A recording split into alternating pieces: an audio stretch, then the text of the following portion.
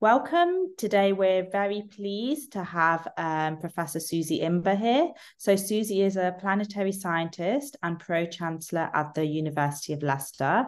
Her research focuses on the impact of the solar wind on magnetized planets, in particular the Earth and Mercury.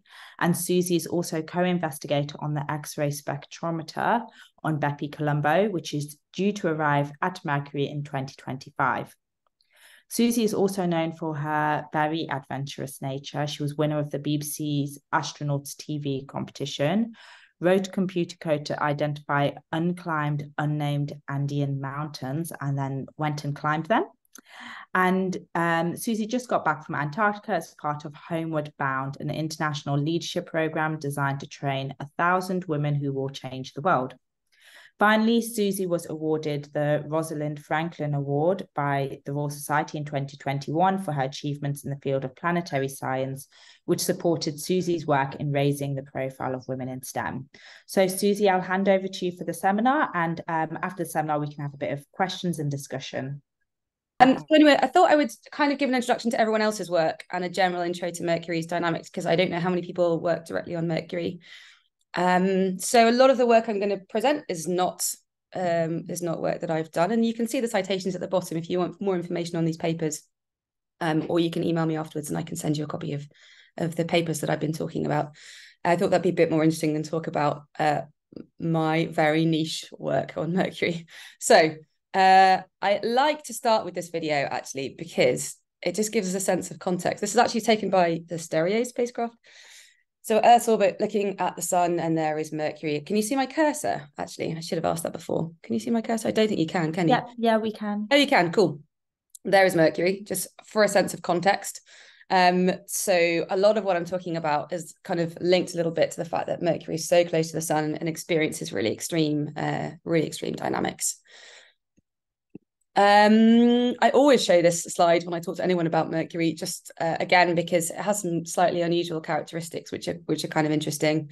Um, its day is about 59 Earth days, so it rotates incredibly slowly. Uh, its orbit is highly elliptical, so uh, it's about 0.3 to 0.47 AU closest approach and furthest away. So uh, this is interesting because actually the seasons on Mercury are driven by its distance from the sun rather than um, its its angle of rotation like we have at the Earth. Uh, it's in three to two spin orbit resonance. So for every twice it goes around the sun, it has three days. So two years is equal to three days, which is kind of interesting as well. But I won't talk too much about that today it does impact what we can do with the data that we have back from the mission I'm going to be talking mainly about, but I'm happy to talk with you further if you're interested in that another time. Um, and it sits at seven degree inclination to the ecliptic as well. So Mercury kind of slightly unusual.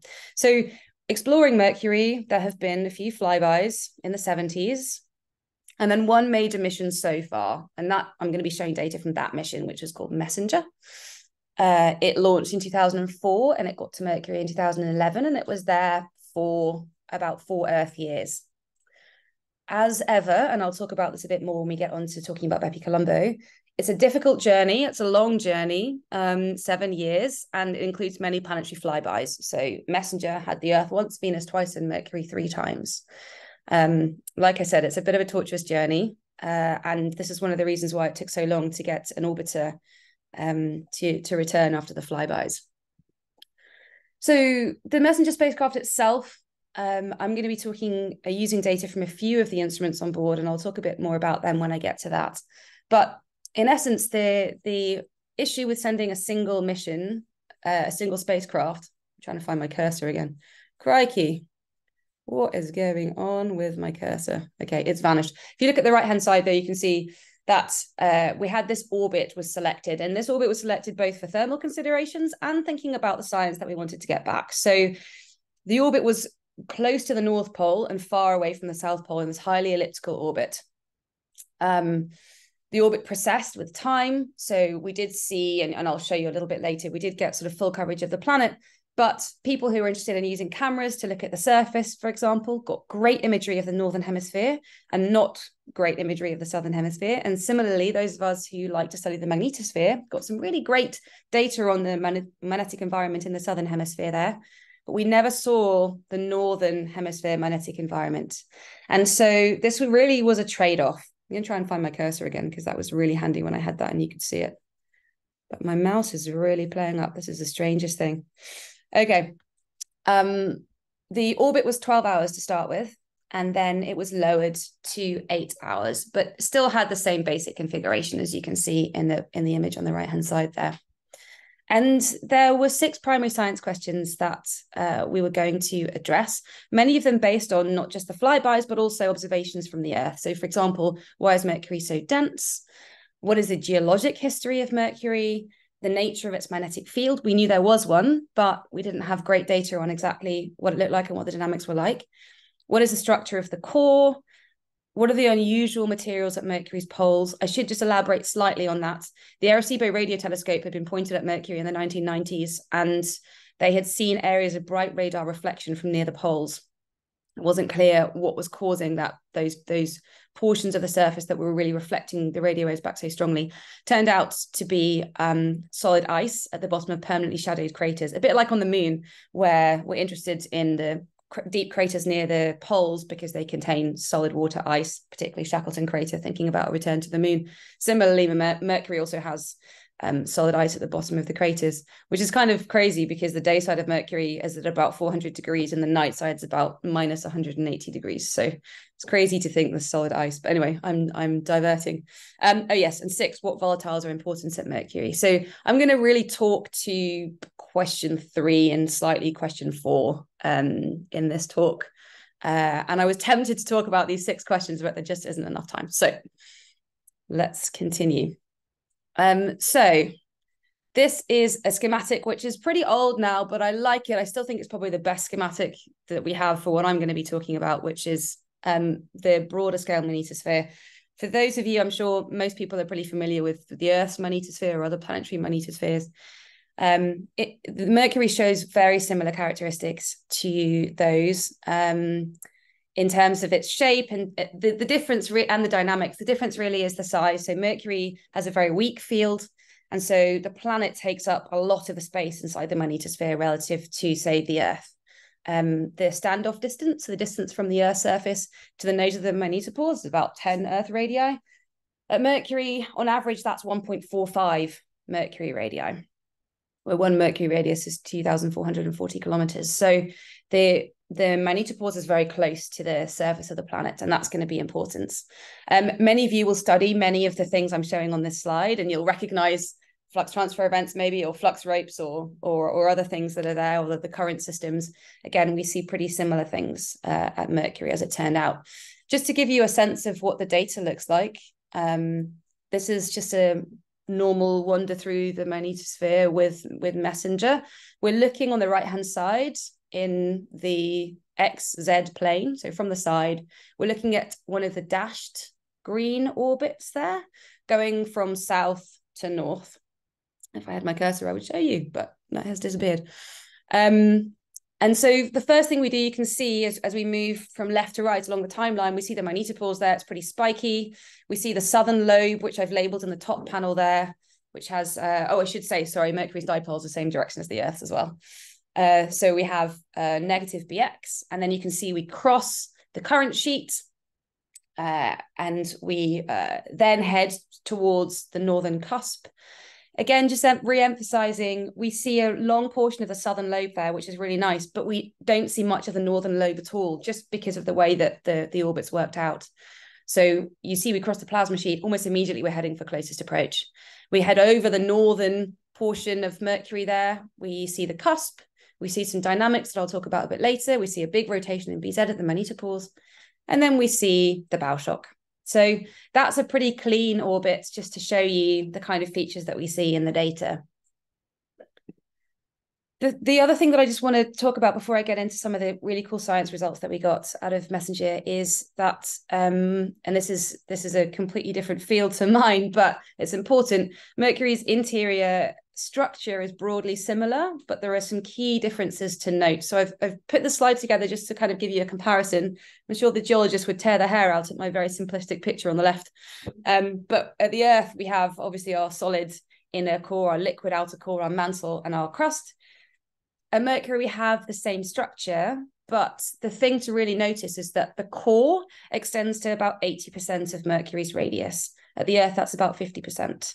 So really, there's a lot of core at Mercury. There's a, there's a very large metallic core. Um, and that's going to be important when we talk about the dynamics a little bit later. It's also the answer to why is Mercury so dense and what is the interior structure of Mercury, which are two of the other questions that Messenger was trying to address. So the first thing to note is that Mercury's magnetic field is offset. It's offset to the north of the planet. So if I just press play here, this is the magnetic equator from a load of uh, messenger passes that you can see the passes in light grey. The dots are, um, are, the, are the planetary magnetic field equator. And you can see that they're offset to the north of the planet by about 20% of the planetary radius. So this is interesting. This changes things somewhat um, when we think about the polar caps, which I'll talk about a little bit later. This introduces interesting asymmetries between the north and the south that, that need to be taken into consideration. And this really was discovered by by the orbiter. Very difficult to get this information back just from um, just from the flybys. So the magnetic field, like I said, it's weak, points in the same direction as the Earth, but the whole thing is shifted to the north. So we can find out a little bit more and we can confirm this. This is a paper by Reka Winslow uh, several years ago now. And she was looking at proton reflection magnetometry. So in essence, she was looking at passes over the cusps. And uh, one of the challenges of Messenger, um, and I didn't put this up earlier actually, is that um, it was three axis stabilized and it had a massive heat shield on one side and the plasma instrument was pointing kind of down and towards the heat shield. So it doesn't have a full view of of the plasma and this is a real challenge. Um, and so doing work with the plasma instrument is is a little bit tough. But anyway what Reka did was she was looking at the cusps and she was particularly looking at the pitch angle distribution and she was looking at the loss cones. And she used the loss cones um, and the pitch angle distribution to to try and analyze what the surface magnetic field strength was. And when she did this, you can see here really big differences between the south and the north. Again, significant asymmetries um, in the magnetic field strength at the points at which at, at the surface of the planet, basically, because of this offset field. Oops. Um, I'm going to talk quite a lot about reconnection in this talk, and I'm going to assume that people have a sort of fundamental um, idea of reconnection. Probably some of you have studied reconnection at all sorts of planets in the solar system. So I won't introduce that in, in huge detail. But I really like Steve's plot here on the left. I use it all the time from a paper, again, quite a while ago now. This is actually the Earth system. We're looking from the side. Um, and so reconnection at the Earth, which is what I'm focusing on, particularly just to start with here, uh, is the coupling of the interplanetary magnetic field with the planetary field. Um, and you can see that it changes the topology of the of the magnetic field. So uh, on the left-hand side of this left-hand plot, at the day side here of the magnetosphere, again, looking at a slice from the side, you can see that reconnection, these newly reconnected field lines here are these blue ones they were red, they were closed field lines, they were opened by reconnection, they get dragged into the magnetotail. And this dayside reconnection drives a lot of dynamics in the Earth system. And so to start with, when Messenger arrived, we really wanted to understand the drivers of the dynamics at Mercury. And so looking again at similar things, how do we measure the dayside reconnection rate? At the Earth, we have loads of instruments. So that's that's great. Still not the easiest of measurements to make, but we can we can do this. Mercury with a single spacecraft it's it's harder. But just to give you a, a comparison for the work the work I'm going to show you in a second at Mercury, uh, this is a, a, a figure from Scurry and Russell, and I've picked it because I'm going to show you an analogous figure in a minute from Mercury. But really, what it's showing you is that when the interplanetary magnetic field is pointing southward, so anti-parallel to the planetary field on the day side, we get the highest reconnection rates. And then as the planet is the planetary, if the interplanetary magnetic field is rotating and is northwards, then we get the lowest reconnection rates. And we have the sort of half wave rectifier, as you can see here, where clock angle uh, is uh, is so zero clock angle is northward, 180 degrees is southward, and you think of it as like a clock face. So in this plot here from Scurry and Russell, we can see that when the clock angle is most uh, southward, so heading towards 180 degrees, this reconnection rate, which is on the other axis there, is the highest. Uh, and so this is the case at the Earth. Of course, this didn't start with Scurry and Russell. It started with Akasofu and colleagues uh, many decades earlier. but the reason I put that plot up is because this is the equivalent plot that was first shown at Mercury. So just back again to the Earth one. And this is Mercury's one here. And so this was done by Gina DiBraccio in 2013, again, pretty early on in the Messenger mission, only 43 data points here. And she was looking at um, the reconnection rate that she had determined by analyzing the ratio of the magnetic field pointing through or threading through the magnetopause to the magnetopause field. Um, you can see that sort of ratio there on the y-axis. And she was plotting that again against clock angle. So again, zero is northward, 180 is southwards. And on this plot, it, it looks a little bit scattered. I've made lots of these sort of plots in my life. I call them football plots, where there really isn't a great relationship. Um, similarly, here, there's not a great relationship. It's hard to really determine anything from this, but it doesn't look like a half wave rectifier. So this is the Earth. This is what you might expect if it followed a similar thing. And this is Mercury. So, okay. So then people began to think actually, maybe there's something else that's dominating the reconnection here. It might not always be the angle between the interplanetary magnetic field and the planetary field. There could be something else. Um, and actually, at Mercury, we have a plasma beta, which is very low. Alfvén speeds are very high. Um, and so we end up with a plasma depletion, depletion layer on the day side of Mercury. Um, and so we think maybe plasma beta might have something to do with the reconnection rate of Mercury. So one of the issues that we've always had with a single spacecraft is that you can't be in two places at once. So you can either measure what's coming in in the solar wind, or you can measure what's going on inside Mercury's magnetosphere. But but you have to pick. And so when you see something interesting within the magnetosphere, you don't know what the solar wind was doing at the time. So this is a nice paper actually by Matt James, and he was looking at um, stability of the solar wind at Mercury's orbit. So, and the reason he split it into perihelion and aphelion is that, as I mentioned, Mercury has this really elliptical orbit. Basically, he was saying, well, if I make a measurement of the solar wind at some point in time, what is the probability that 10 minutes later it's similar? 20 minutes later, 30 minutes later, and so on. That's the essence of what these plots are showing you. Um, and so that means that we can say, well, actually, if I make a measurement and five minutes later I'm in the magnetosphere and I see something, the probability is 80%, let's say, that um, the solar wind is, is similar to, to the observation that I made five minutes ago. That was the idea behind this. And he looked at the clock angle as well. So what's the probability that the clock angle has has shifted significantly in five minutes, in 10 minutes, in 20 minutes, in one hour? And that's really the best we can do with a single spacecraft. Uh, there are other ways to measure the reconnection rate at Mercury, though, and this is a really popular way that I know a number of people have have looked at. Um, these are this is by looking at something called flux transfer events, and these are magnetic structures that are associated with day-side reconnection. They've been studied extensively at the Earth. Many people on this call have looked at them, um, and we see them at Mercury too. So um, there's some terrible sketches there for which I apologize profusely, but in essence, they're like bundles of magnetic field that are formed at reconnection sites and move away from the reconnection sites. Um, and so while it's very rare for us to encounter a reconnection site itself with our spacecraft, especially with a single spacecraft and the resolution of measurements that we have, it's not uncommon to see one of these structures moving past you and use that as an indicator that reconnection has been ongoing. And indeed, a recent paper um, by Sophia actually was looking at tracking these back again to work out where the reconnection site was. But in this case, we're just looking for signs of reconnection.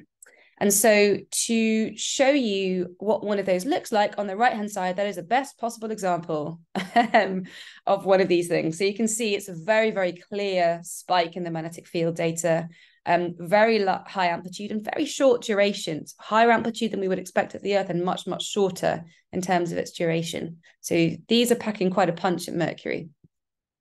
And the idea was uh, to use these to try to say, well, actually, how many FTEs do we see during northward IMF? How many do we see at southward IMF? Is there a difference? And can that tell us about the um, dependence on clock angle of the reconnection rate? So my poor PhD student looked through many, many, well, the entirety of the messenger for Earth years of data. Uh, and he looked at where the magnetopause crossings were. And that's what you've got on the top left-hand side there. And he picked out 1,717 of those. And then he picked out every FTE that he could find and at the bottom there, what you're looking at is clock angle. This is now not, not 0 to 180, it's, it's minus 180 to plus 180, but imagine it as a clock face, similarly to before with zero pointing north and 180 pointing south. Um, And he's saying, well, on, on what fraction of occurrences do we see FTs or evidence of dayside reconnection? And so, quite clearly, what that shows is that for northward IMF, there's not much reconnection, and for southward IMF, there's a lot. And actually, that's very clear, kind of halfway rectifier territory. And this was followed up by Weijie Sun uh, a little bit later. He did a very similar study. The top figure there is magnetopause crossings versus shear angle. So he's gone 0 to 180. And he was looking at FT showers, which are just several FTs in a row. And that's what he's showing in the green. And uh, panel C there is the number of showers observed over the number of magnetopause crossings. And again, what you're seeing is that for northward IMF, there's not so much reconnection. Southward IMF, you're seeing um, lots more reconnection signatures. So this is evidence that at Mercury, there certainly is a dependence on clock angle. It's not the the magnetopause reconnection rate does not seem to be independent of clock angle in the way that we first assumed when the first studies were published. But uh, Wei Sun at the bottom right also looked at, at magnetosheath plasma beta, which is another suggestion could could govern the reconnection rate, and also found a weak correlation there too. So um, there's more work to be done here, I think.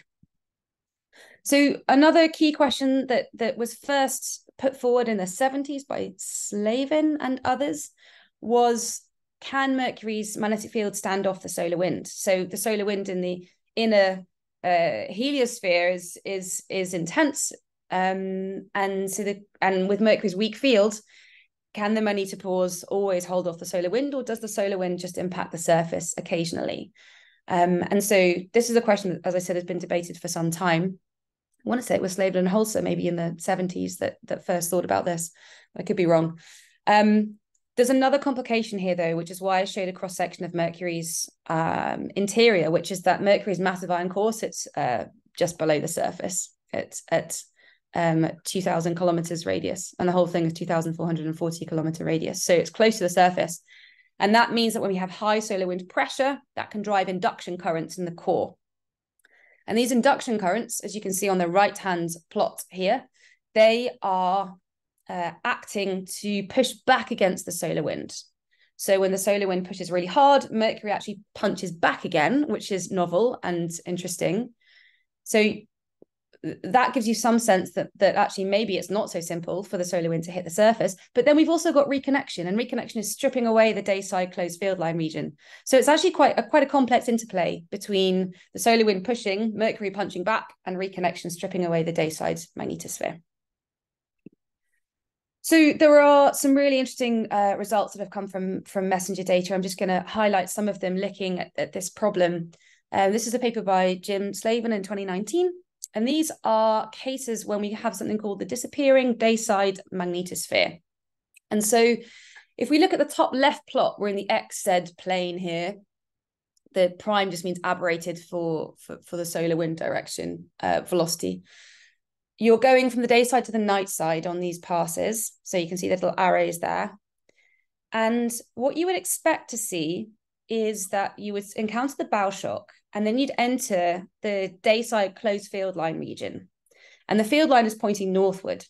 So you would expect to see some positive BZ in this dayside region. If I had a cursor, which I'm still trying to hunt down, I would show you this. But oh, did I find it? No. This is the strangest thing. Anyway, you'd expect to find on the dayside some northward BZ. And normally we do. And then you encounter the cusp and you go over the cusp and you start heading towards the night side. But in these four examples that you can see here, very clearly, we don't have that happening. And so we've got BZ in the top panel there, panel A, and actually another example is panel C. But let's look at panel A for now. So the first thing that happens is that we encounter the bow shock, which is good. And then we're into the magnetosheath, and you can see that things start to get a bit bumpy and a bit turbulent. And then we get to closest approach. But if you look at panel A, we don't get a period of northward BZ between the magnetopause and closest approach. And so we never encountered the dayside closed field line region at any point in that pass. And so what that tells us is that the dayside closed field line region must be squashed below our altitude. It gives us some bound on the sides of the dayside closed field line region there, and it must be below where we are, and we aren't very far above the surface. And so these are called disappearing dayside magnetosphere events for exactly that reason. And they're interesting because Um, with the, the way that our orbit is set up, um, it's difficult for us to know if the surface is actually exposed using the magnetic field data, but at least this gives us some bound on that. And so if we look at the left-hand plot here, this is, uh, and again, x versus the square root of y squared plus z squared. And uh, so it's in cylindrical coordinates, basically. And what you have plotted on here, and this just takes a little bit of explaining, is two black lines here. One is the location of the planet in the northern hemisphere in this coordinate system, and one is the equivalent for the southern surface. The reason that that they aren't lying on top of each other is that the magnetic field is shifted to the north and we're in magnetic coordinates. So um, that's what those two black lines are, the the the the north and the southern surface. Um, where the zero line here, y equals zero, is the magnetic equator. And uh, what you can see is uh, some colored dots on here and some fits. The red is for those four passes where the data is hugely compressed and we never see it. That's the bow shock, is what the red lines are, and there's a fit to that. And the blue is the magnetopause um, crossings. The arrows are the normal to the magnetopause as determined um, uh, from the from the from the crossing. And so what you can see is that um, in for these particular passes, we encounter the the magnetopause outside of the northern surface. Obviously, our spacecraft didn't crash. But if you think about if it's symmetric about the magnetic equator, then then um, the magnetopause would be pushed below the surface in the southern hemisphere. So there's some evidence here that um, we there are occasions when the surface is when the magnetopause is pushed below the surface. And on the right hand side, we've got the um, standoff distance from the from the nose of the magnetopause on the x-axis versus the solar wind pressure. Um, we'd expect this um, this uh, the the the dashed grey line here if we include a dipole plus Chapman-Ferraro currents or magnetopause currents. We'd expect to see this relationship. So when the solar wind dynamic pressure gets higher, the magnetosphere pushes back towards the planet. This is just the dipole plus Chapman Ferraro. The dark black line there includes induction, the effects of induction. And so you can see that they're offset here. If we have induction included, then the magnetopause is further out than it would be without the induction effect. And if we just look at the left-hand blobs here, these are the disappearing dayside pause events. Um, and uh, you can see that they're way, way to the left of um, of, of, those two curves. And that is probably because they are high solar wind pressure, looking at uh, 100 to 300 nanopascals, but also the size of the blobs is reconnection rate. And so it's a combination of having high solar wind pressure and a high reconnection rate that stripped away that dayside magnetopause. Now, there are some highly compressed magnetosphere events as well, a different list. There's eight of these. They're not entirely disappearing dayside um, but highly compressed events. They were shown in that Slavin paper, and Shinja looked at these in a little bit more detail because he was interested in modeling them. And so this is again a similar uh, plot to before, although actually looking at that y-axis, I think that should say y squared plus z squared square rooted on the on the z-axis uh, on the y-axis there, rather than x. I think that should be a z, but it's in the same cylindrical coordinates as before. So the center of the planet is now in the bottom left. Um, the northern surface is that first, I'm pointing at my screen and you can't see it, I'm sorry, but it's the first curve. You can see it's, it's labeled north and the southern surface is labeled south there. Again, a solid black line. Uh, these highly compressed events, you can see that they have plotted the magnetopause location and the normal to the magnetopause in black arrows. Some of them get down to uh, very, very close to the northern surface. And indeed, as before, we would expect the um, the magnetosphere to be below the surface in the southern hemisphere. Um, the the green line is a standoff distance of 1.03 rm. So this is the distance between the dayside equator equatorial planetary surface and the magnetopause. Um, the blue line is 1.25. The average at Mercury is 1.45 rm. So these are highly compressed interactions. And Shinja was interested in modeling some of these events. Um, this is a, a, plot of the solar wind pressure again versus standoff distance. The lines are similar to before, so dipole plus Chapman-Ferraro, Chapman-Ferraro, and then dipole plus Chapman-Ferraro plus induction. For these highly compressed events, again, they sit kind of between the two lines for the most part. These aren't the disappearing ones, these are just highly compressed events. But you can see that there's a real trend where um, if we go to the left hand side of this left hand plot, um, the blobs look larger and the blobs are reconnection rate. So this is telling us that an increased reconnection rate is, is driving the magnetopause towards the planet. Um, on the right hand side, actually, I'm going to explain the right hand side plot a little bit later. So these are this is Xianzhe's simulations. Um, the the color in the background is the simulation that he did, and the little tube that you can see is the data taken by Messenger. And so the first thing to note, this is for one of these highly compressed magnetosphere simulations. The first thing to note is that the match is extraordinary. Um, the the data that was taken versus the model, there's a very very close match there, much closer than I expected. Maybe I'm just slightly cynical sometimes about how accurately these models manage to perform, but this is amazing. He's really done a really fantastic job, um, and he's included induction in the model, and I'll talk about about what that shows us in a moment. But I just wanted to put this up and wonder at the match that uh, Xianzhe has there between the data and and the model that he ran. And this paper is from 2019. You can look it up for more details. But because he included the effects of induction, um, that means that he can then look at the magnetic perturbations associated with that induction. So we're looking at a slice in the XZ plane here in both panels. Um, the planetary surface is the green circle, and the core surface is the sort of inner circle that you can see there. Um, the reason for this is that the core is highly conductive and so that's the limit to the model. Um, we don't we don't have anything moving about inside the core.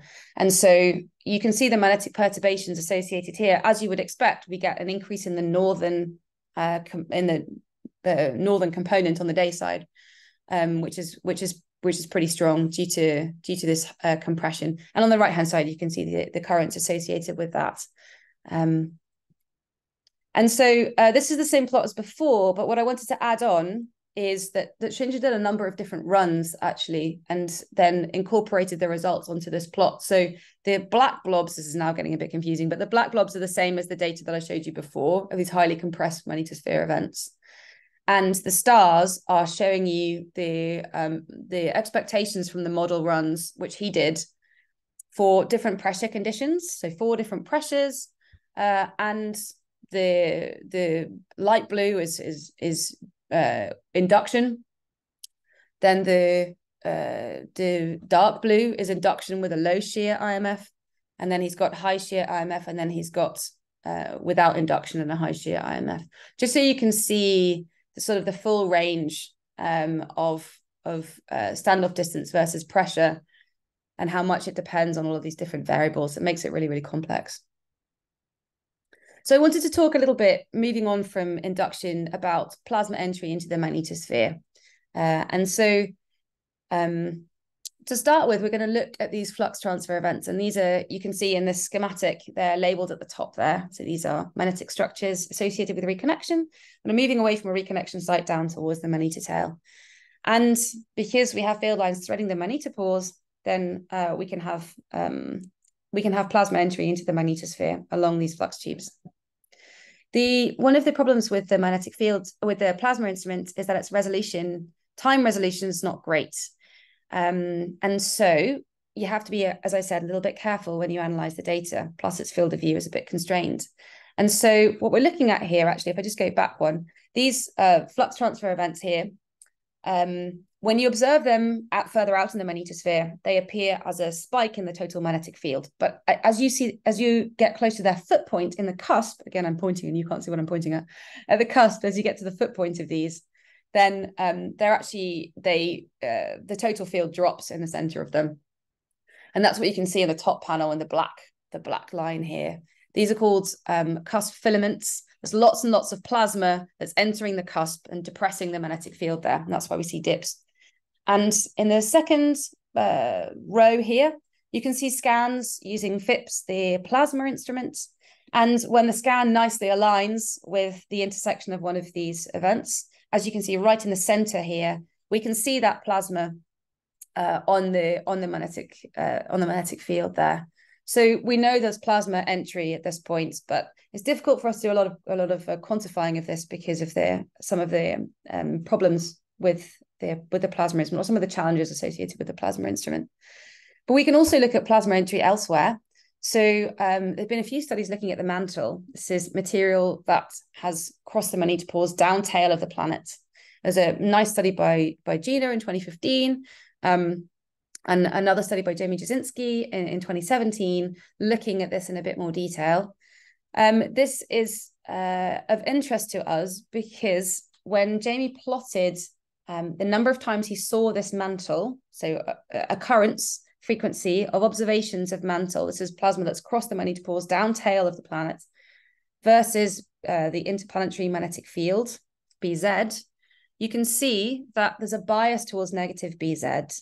So this mantle associated with dayside reconnection is showing a bias again towards negative BZ, again telling us that, that there's a there's a clock angle dependence here with with dayside reconnection. Although I'm certainly not saying that there isn't a plasma beta dependence, but I do think there's a clock angle dependence, and lots of different independent studies are kind of um, verifying that, which is nice. Um, I want to talk a little bit now about the global dynamics. So I talked about dayside reconnection, but of course we can't open field lines forever. They must be closed again at some point, and they're closed on the night side at the, at the tail reconnection site. Um, often at the Earth, we see a big buildup of flux in of open flux in the Earth's magnetosphere, followed by tail reconnection that closes some of that open field lines, and the open field lines return to the dayside at lower latitudes, and that gives us a, a cycle um, of of uh, magnetic field and plasma through the system. We see the same thing at Mercury. Again, tail reconnection can be challenging for us to measure. We only have one spacecraft sitting somewhere in the in the tail. So there's a few ways that we can go about looking at this cycle. This is um, looking at the um, amount of open flux in the magnetotail. So as the flux builds up, the pressure builds up, magnetic pressure builds up in the lobes of the magnetotail, we see that as an increase in the total B in the tail lobes. So as you pass through the tail lobes, and you can see this data was taken um, in the red portion of the spacecraft trajectory there. The bottom is the XZ plane. So you can see we're in the southern tail lobe here, where we spend a lot of time per orbit with MESSENGER. You can see three uh, increases and decreases in the magnetic field strength there, um, highlighted in green. And this is increases in the magnetic flux content followed by a decrease, um, which is flux building up and then being released again. The timescale for these events relative to the Earth is very short. We're looking at a few minutes relative to an hour, two hours at the Earth. And the amplitude, the amount of change in, in and magnetic flux content is very high at Mercury too. So the dynamics are extreme and short-lived at Mercury compared to the Earth.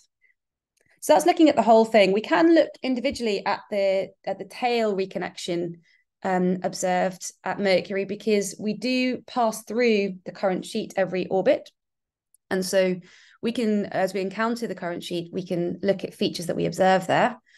Again, similarly to the day side, we see magnetic structures associated with reconnection in the magnetotail. And the, in the tail, we call these flux ropes, again, associated with reconnection. Um, and we can use these to tell us something about reconnection in the tail. And this is just an example of passing through and observing these wiggles that you can see in the middle of the magnetic field data associated with reconnection.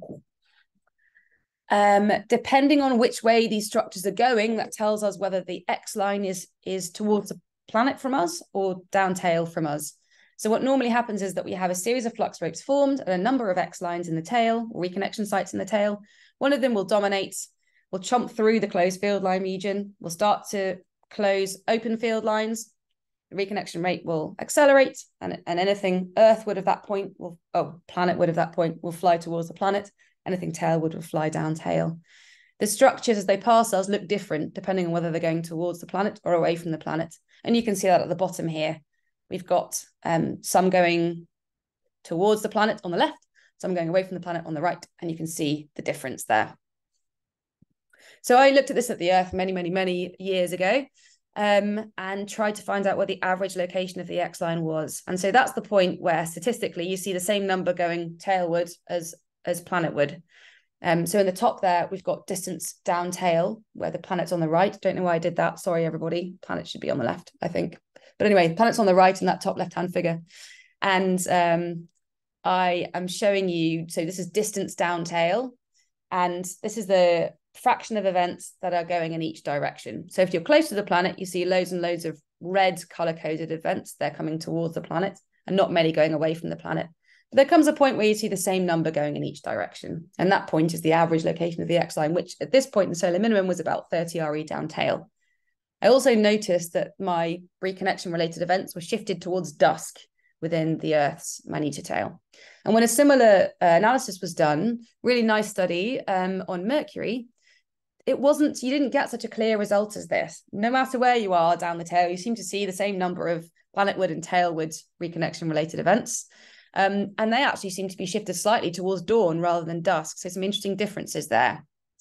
Um, Gangkai Poh looked at the tail in more detail, looking for asymmetries um, and picked out different um, portions of the Magnetotail and looked at the structure there. And he found that actually there is a difference uh, in um, in the current sheet pre midnight and post midnight actually, and that that sketch on the right hand side is a is a nice summary of that.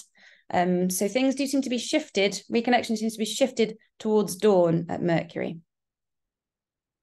We also see dipolarization events. These are where we've had a reconnection event in the Magnetotail. The Magnetotail's been really stretched, has pinched off, and then we get a much more dipolar field line flying towards the planet. And we can see that if we're in the right place. Um, the left-hand plot is worth looking at here. This is uh, looking in the XY plane, so looking down from above. And you can see that most of these dipolarizations are again occurring on the dusk side, uh, sorry, on the dawn side. So again, reconnection related activity on the dawn side of Mercury and some evidence that there's some flow braking that happens as these things come in, they brake. Um, you can see that because on the left hand bottom plot, again, no cursor, I'm sorry, you can see um, as you head towards the right of this plot, you're heading towards the planet and the velocity is decreasing. So these things are slowing down as they approach the planet. There's some evidence of flux pileup on the night side of the planet. Um, and you can see on the right hand side that the average shape of these is different. And that's also indicative of flux pileup. So these closed magnetic field lines are piling up um, as they approach the planet. Some of these dipolarized field lines may hit the planet. And I might talk about that a bit later if I have time. Most of them uh, don't hit the planet. They brake at about 900 kilometers altitude um, and head around, diverted around the planetary field on the night side there. Okay, some particles definitely impact. This is a really nice paper by Simon Lindsay. He was looking at X-rays coming off the night side surface of Mercury. So the middle bottom plot there, you're looking at the night side of the planet, and you can see um, some dashed lines there. The dashed lines are the magnetic equator and the uh, polar caps, average location of the polar cap, which is the open field line region. And the dark is where we're seeing X-rays coming off the night side surface. The top left is like unfolding that basically on the night side. So the middle of that top left plot is, is midnight. So we're seeing uh, X-rays coming off the night side surface, just uh, equatorward of the open closed field line boundary, um, shifted towards dawn. And these this is electron induced X-ray fluorescence. This is where some particles have been accelerated as the um, dipolarized field line comes towards the planet. Particles fly down and hit the surface, um, and they make the surface give off X-rays that we then observe. So this is this is uh, this is direct observations using an X-ray spectrometer of particles impacting the surface on the night side associated with the equivalent of Mercury's aurora. We can also try and work out. Um, we we know where the particles hit. Let's let's trace back those field lines and work out where that field line might um, might pass through the magnetic equator or the equatorial plane on the night side, which is what we've done on the top right hand side. So just use a magnetic field model to try to say, well, the particles hit here and here. Can we trace that back and work out what that field line might have looked like? And again, those field lines are all shifted towards dawn. This is a really nice study um, looking at energetic electrons. And so this is in situ data. This is messenger sitting in the magnetotail measuring energetic electrons. And what they did was they said, okay, let's measure the electrons and then let's use a magnetic field model and trace where they might hit the surface. And that's what that bottom plot is on the right hand side. The top plot is where we observe the electrons hit the surface, and the bottom plot is where they expect the electrons to hit based on having observed them in the magnetotail. And so you can see a really nice match there, which makes us confident this is electron induced X ray emission. Okay, I then had to, sorry, accelerate slightly at the end there. I'm just going to use my last couple of minutes to look forwards because things are happening that are exciting that you might want to be involved with over the next few years. And obviously, that thing is BepiColombo, which is arriving at Mercury in a couple of years. The science themes pretty similar to Messenger. Um, it's not like we've done no work in the intervening time. It's just that the things that we've done have just generated more questions that we need to answer. So similarly, looking at the interior structure, characteristics of the magnetic field, surface processes, um, exosphere dynamics, etc. It launched from French Guiana in 2018. Um, a small group of us went to go and watch the launch, which was mind blowing. Um, and this is its journey to Mercury. So, like before, it takes seven years. Um, it encounters the Earth first. I actually had some really interesting um, press queries because we'd said, "Oh, a BepiColombo is coming past the Earth," and everyone said, "Hang on, Suzie, we want to know why you launched it a year ago and it hasn't gone anywhere. Why is it coming past the Earth again?" Um, it has gone somewhere, um, but we're using the Earth's gravitational field to to um, slow us down and head us towards Venus. And then we're going to encounter Venus twice. And then we're going to encounter Mercury six times until we finally go into orbit around Mercury. So it's a long, long journey. I'm not going to play you this entire video, but it gives you some sense of the tortuous journey to Mercury. Um, it, we've had some flybys already. The second Venus flyby always makes me laugh because there's not much for us to see there. Um, lots of clouds, but we've had three Mercury flybys now, and we've got some great um, images back from those so far these are the engineering cameras they're not the science instruments at this point but it's still pretty fun to look at when it gets there uh, the transfer module which is the life support system that helped it get there will separate then we're going to end up with two spacecraft the first thing that will happen is that we will eject the little japanese spinning spacecraft called mio off it goes that will be a magnetospheric orbiter then we release the sun shield that was protecting that little spacecraft on its journey and we're left with the european spacecraft there which will then go into orbit. So we're going to end up with two spacecraft orbiting Mercury.